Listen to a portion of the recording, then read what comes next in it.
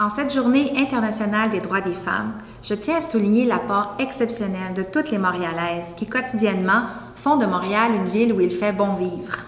C'est aussi un moment pour se rappeler tout chemin qui reste à faire, des programmes, des politiques qu'on devrait mettre en place pour soutenir la pleine participation des femmes dans les sphères décisionnelles et politiques dans la ville de Montréal. À Projet Montréal, j'ai la chance de compter sur une équipe de 12 élus exceptionnels, talentueuses et dévouées qui travaillent tous les jours pour améliorer la qualité de vie de leurs citoyens dans leur communauté. En mon nom personnel, mais également au nom de toute l'équipe de Projet Montréal, je nous souhaite une journée internationale des droits des femmes porteuse de nos revendications, mais également pleine de célébrations. Parce que nos victoires, faut en être fiers.